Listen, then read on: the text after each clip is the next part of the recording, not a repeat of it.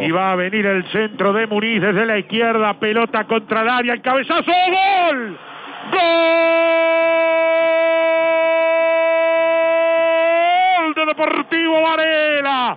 Varela anticipó en la entrada del área chica. Cabeció cruzado a la izquierda del arquero que alcanzó a rozar pero no pudo sacar el balón.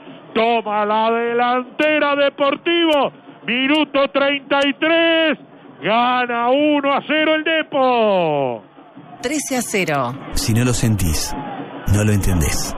¿Y en qué momento, no? Porque queda poco para que termine el partido, porque justo le habían expulsado a un jugador nacional y de pelota quieta va hacia el espacio vacío el jugador de Deportivo Maldonado Varela y encuentra muy solo la pelota para cabecear da vuelta la cabeza, el cuello hace un movimiento de cuello y nada que hacer tiene Martín Rodríguez a quien le pica al lado la pelota y eso dificulta su reacción. Tiene el partido muy en repecho Nacional, como el pan de azúcar de alto le queda.